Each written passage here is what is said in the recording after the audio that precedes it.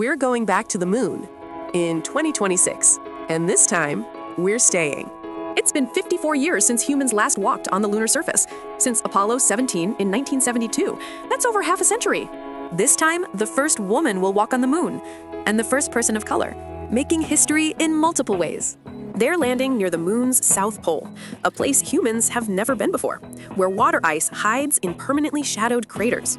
The mission is called Artemis.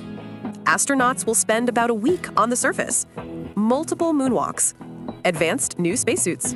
But here's what makes it different from Apollo. This isn't just a visit, we're building a permanent base. A lunar base camp on the surface, a space station called Gateway orbiting the moon.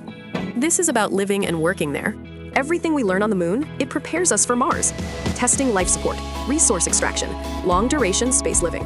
The South Pole has water ice. That means drinking water, oxygen to breathe, even rocket fuel. The moon has everything we need. Astronauts will conduct experiments impossible on Earth, study ancient lunar samples, set up telescopes on the far side, no atmosphere to block the view. Apollo was about planting a flag and coming home.